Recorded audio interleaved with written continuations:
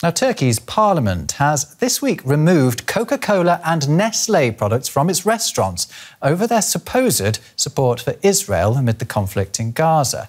A parliamentary source said the decision was meant to respond to huge public outcry against the companies for supporting Israel. The parliament didn't specify how Coca Cola and Nestle supported Israel's war effort, though.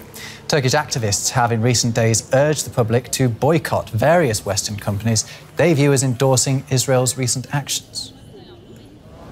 Well, let's get more on this from our correspondent in Istanbul, Julia Hahn. Julia, what have you been hearing about exactly why these boycotts are happening and you know, how far they're likely to spread? Well, these uh, boycott campaigns, Rob, I think reflect Ankara's and Turkish President Erdogan's growing anger towards Israel and the West, the US especially, and at the same time, they are. Um, a reflection and a reaction uh, to anti-Israeli sentiment among the population here in Turkey, anger over Israeli bombardment of Gaza and the rising death toll among Palestinian civilians. We have seen uh, calls for boycotts of foreign brands by local municipalities and universities in recent days across Turkey. And when you walk the streets of some Istanbul neighborhoods, you see protest stickers or posters calling on people to stop buying from Starbucks, for example, example, or McDonald's. And pro-government media here in Turkey are publishing long lists of allegedly pro-Israeli companies and products from Coca-Cola and Nestle to the cosmetics producer L'Oreal or uh, the sporting uh, manufacturer, sporting goods manufacturer Adidas or uh, the South Korean car manufacturer Hyundai. But in most cases, it remains absolutely unclear what these brands and companies are supposed to have to do with the Israel-Hamas Hamas war. It's not being explained at all. It leads to a lot of confusion over product origins. And uh, many of these companies, as far as I can see, have not responded to these accusations. But um, facts seem to matter less than perception. And many people I spoke to here in Istanbul told me they support such boycott campaigns. Let's listen. We can make our voices heard with these boycotts. Otherwise, nothing will happen. No one will hear us. I'm a shopkeeper and I don't want to sell certain products right now.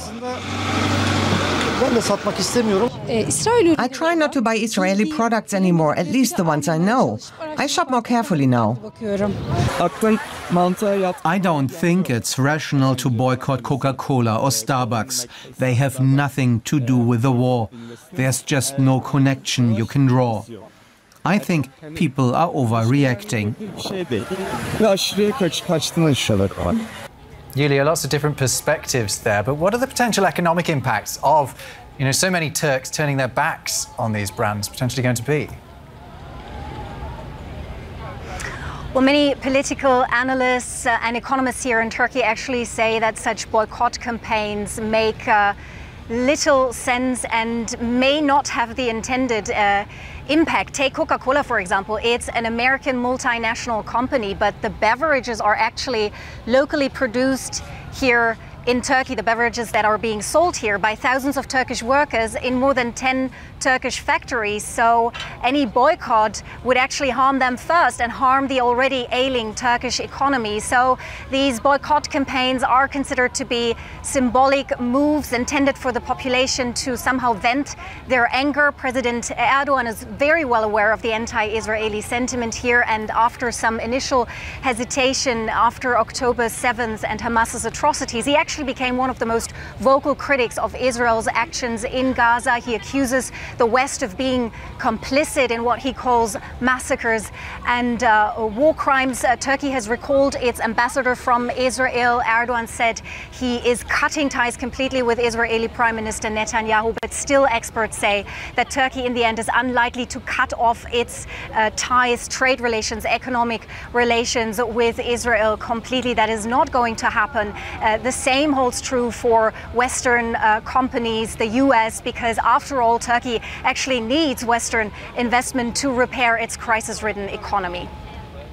Julia Hahn in Istanbul for us. Thank you very much.